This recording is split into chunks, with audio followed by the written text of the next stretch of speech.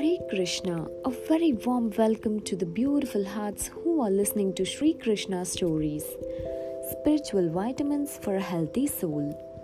Today's story is When the planet Earth is completely scattered with delicious food, you are flying in search of flowers, said the housefly to the honeybee. A simple story to explain this. Let's get into the story of a honeybee and a housefly. A honeybee and a housefly met one day on the way. Housefly asked the bee, Dude, have you eaten? The bee said, Nobody, that is why I'm flying in search of flowers. The housefly laughed out loudly, rolling down when it heard the bee's answer.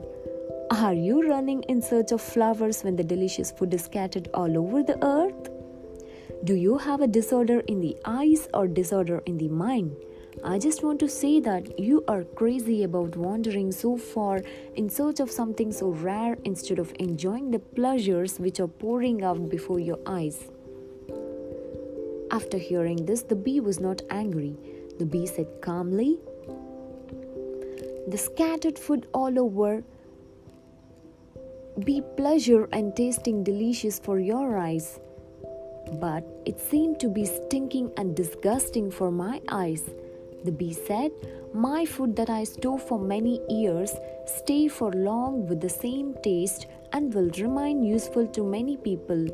But your food, in a short time it gets rotten and with the rot it will disappear. And only your crowd will go looking for that stinking smell. The housefly ran away without being able to say anything more. It is natural to those people who live by the pleasures of sin. For their eyes, even the devotees of Supreme Lord will seem to be crazy. The housefly searches for smaller pleasure, but the bee searches for longer pleasure. That is why the life of eternal Paramahamsas who sought the bliss of attaining the Lord and their words are still sounding like the honey today. The Narayana mantra recited by Prahalad the Ram mantra recited by Hanuman, the Kali mantra recited by Ramakrishna, and the Namachivaya mantra recited by the Nayanmars are still ringing in the air today. We too will excel by saying the name of Lord Sriman Narayanan, who is worth a flower in the life of a honeybee. Thank you for listening to the story. Sarvam Shri Krishna Arpanam.